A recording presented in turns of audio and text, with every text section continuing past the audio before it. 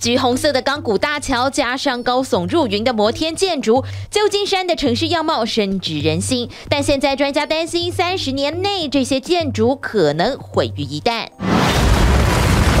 好莱坞电影《加州大地震》的惊悚场景，对地质专家来说一点都不是危言耸听。A little over seventy percent probability that we'll have a magnitude six point seven earthquake in the next thirty years. But that's an earthquake that can occur on the Hayward Fault, on the San Andreas Fault, on a whole range of faults that underlie the Bay Area. 强震对旧金山来说一点也不陌生。二十世纪初，七点九的超强地震让当地八成的建筑全毁。Oakland A's take, take. I'll tell you what, we haven't heard. 三十多年前，六点九的摇晃再度让旧金山感受到地牛翻身的恐怖威力，不但造成高速公路断裂，部分地区甚至出现土地异化。两起地震让当地政府重视供水还有瓦斯系统在地震里的状态，也改善了高速公路的建筑强度。就在民众对于一连串防震工作感到安心之际，洛杉矶一九九四年一场地震又暴露出建筑缺陷，为旧金山敲响一记警钟。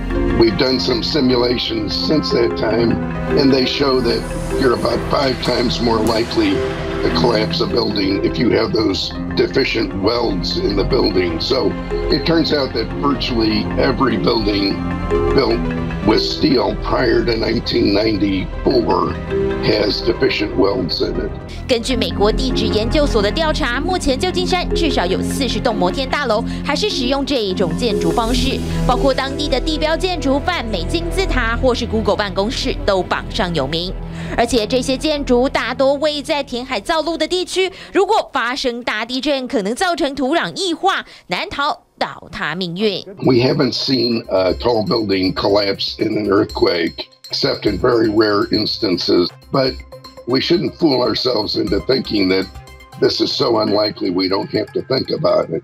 尽管地震风险历历在目，但在寸土寸金的旧金山，超高楼层的建筑几乎成为难以回避的选择。建筑专家强调，高楼的防震科技通常都很严谨。The Salesforce Tower and several of the other tall buildings in San Francisco that have been designed and constructed recently have been designed to withstand the maximum earthquake that the San Andreas Fault can produce, which in round terms is about an 8.0 earthquake.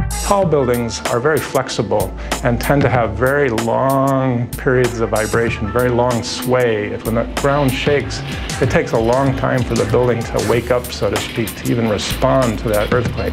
专家表示，其实旧金山最危险的建筑恐怕就是一般的公寓住宅，尤其是当地最常见的独栋楼房。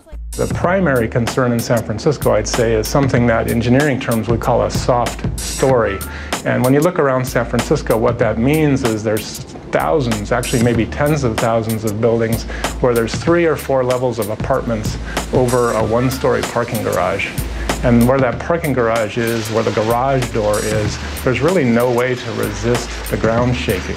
根据地质学家预估，如果是湾区附近的海沃德断层发生强震，经济损失将达到八百二十亿美元。但若是像电影一样，圣安地列斯断层地牛翻身，损失还会更惨重。 A 7.8 magnitude earthquake would produce about $300 billion in damage.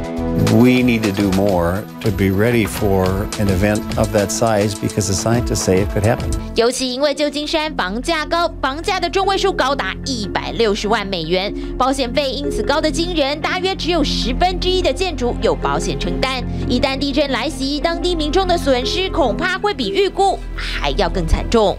TVB 新闻综合报道。请支持 TVBS 国际 Plus 全新频道，让您扩大视野，掌握趋势，接轨全世界。恳请订阅，开启小铃铛。